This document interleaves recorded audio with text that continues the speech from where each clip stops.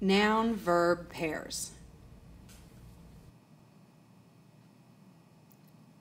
Today we're going to learn about noun verb pairs. Let's make sure we're really clear and have an understanding of what a noun and a verb are really all about. A noun is a person, place, thing, or an idea. A verb, on the other hand, is an action, an occurrence, or a state of being.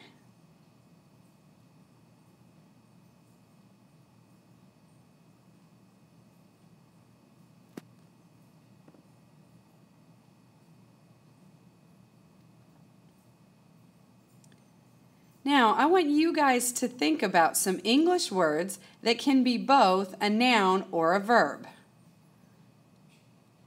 So if I can have a volunteer to come up and write them on the board for us, I'd appreciate that. So go ahead, pause the movie, take a few minutes and think about, and write those down. I'll wait.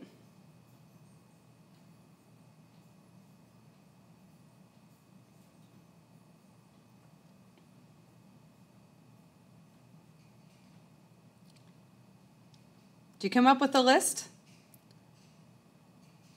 I did too. Our list might be different, but I want to show you some of my thoughts.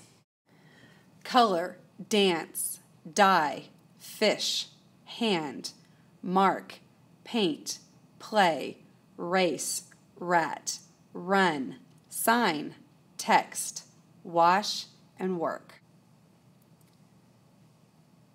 In ASL, we have words that can be both a thing and an action at the same time. But that's not the same list of words that we have in English. Sometimes in ASL, the only difference between a noun and a verb is movement.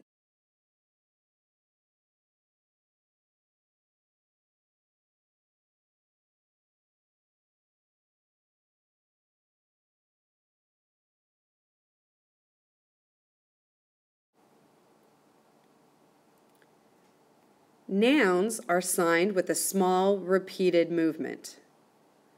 Verbs are signed with one big solid movement.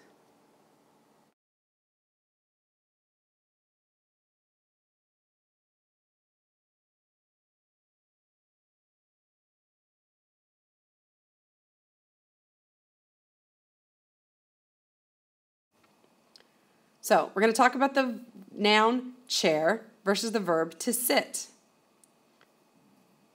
So that noun, chair, we might have three chairs sitting next to each other. But when the verb, you're just going to sit once because you don't want to think about getting up and down. You just sit and then you stay there and then you're done. So three chairs versus just sitting down. They're different. The noun is a thing. That big solid movement shows it's a verb. That's the action. Have you ever gone skiing before? So, what do you do? First, you go to the store and you rent some skis. So, they get your skis all set up for you, you get your boots in, you lock them into the bindings, you get your poles in your hand. Are you ready? But are you skiing yet? No, you're still in the store. Now we're just talking about the thing, the skis. But then you take the chairlift to the top of the mountain and you get up there and you're ready, and then suddenly you go off the top and you're headed down the mountain. Now it's an action. You're trying to stay balanced, you're trying to move, you're trying to snowplow.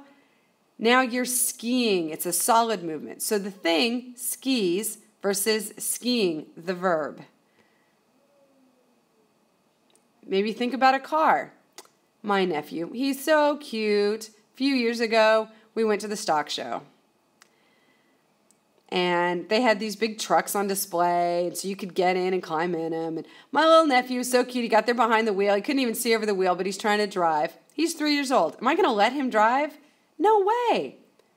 So he can get in the car and turn the wheel. That's fine. But is he going to like move down the road and go somewhere? Absolutely not. So we have that noun for car, and that's different than the verb to drive. So my nephew can turn the wheel, but he's not going down the road anywhere.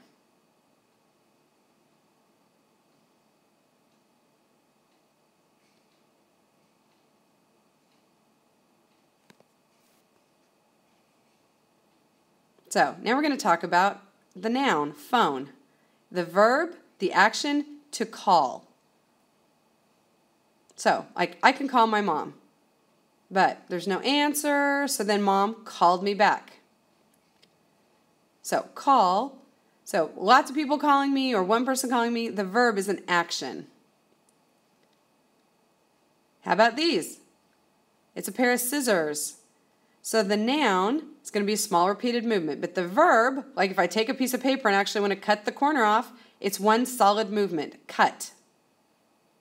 So, the last one for today, think about clothes. So, I have a lot of clothes, a whole closet full of them all lined up. But this morning, I just put this on and I came to school. I just put on this shirt and I went to work. So, I didn't change clothes a bunch of times, I just got dressed. So, clothes is a repeated movement because I have a lot of them. But to get dressed, I did it once and that's it.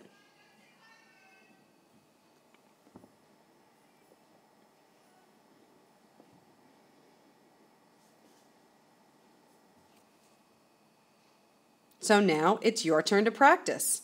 In your textbook on page 274, you're going to do classroom exercise P. So you're going to work with a partner and practice some of these signs together. Good luck.